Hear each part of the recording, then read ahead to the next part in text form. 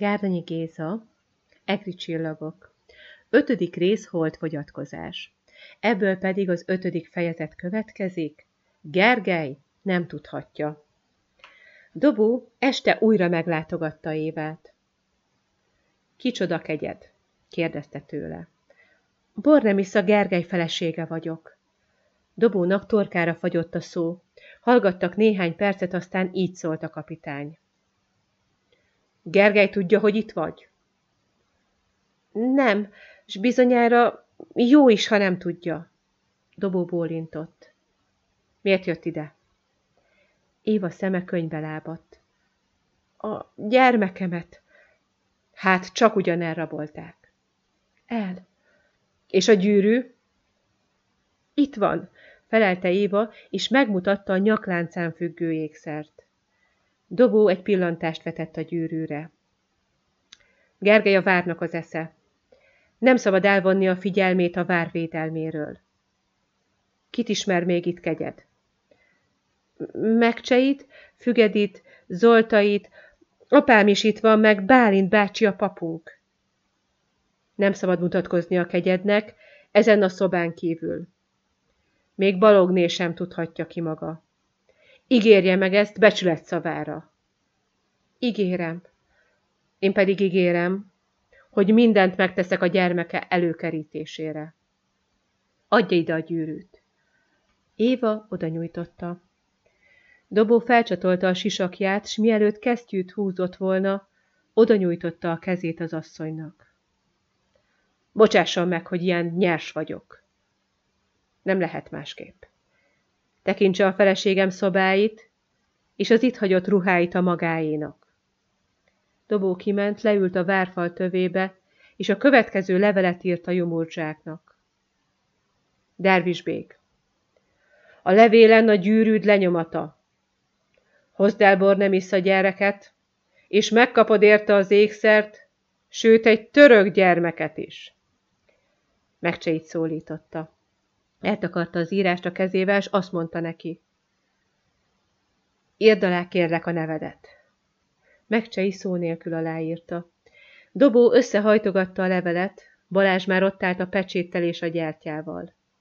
Dobó azonban kívül a török gyűrűvel pecsételte le a levelet.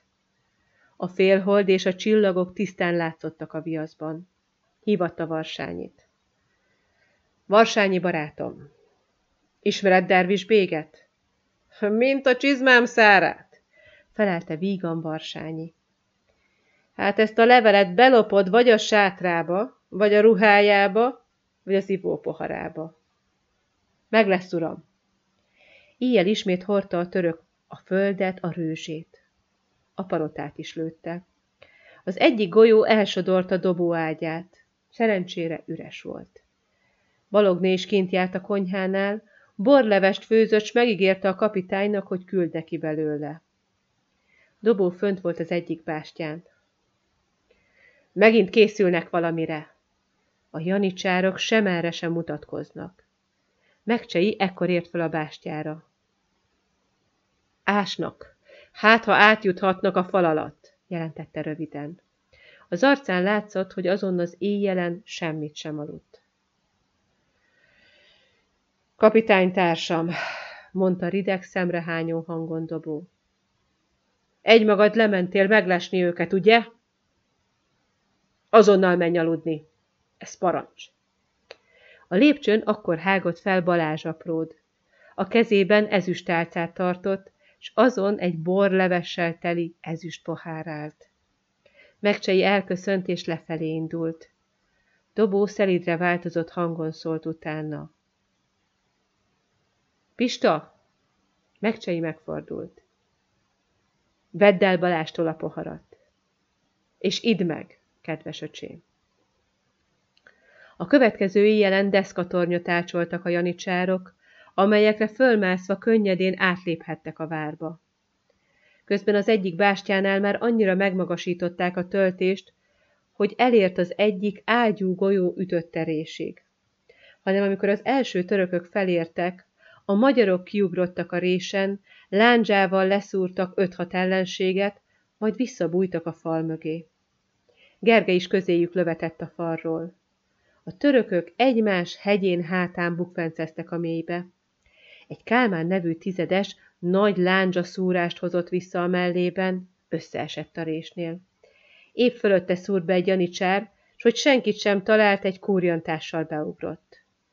Dobó a rés mellett állt. Úgy ütötte orva mesztelen ököllel, hogy csak úgy spriccelt a vér az orrából. A többi török nem merte követni. Hátat fordítottak, és lefelé kezdtek mászni.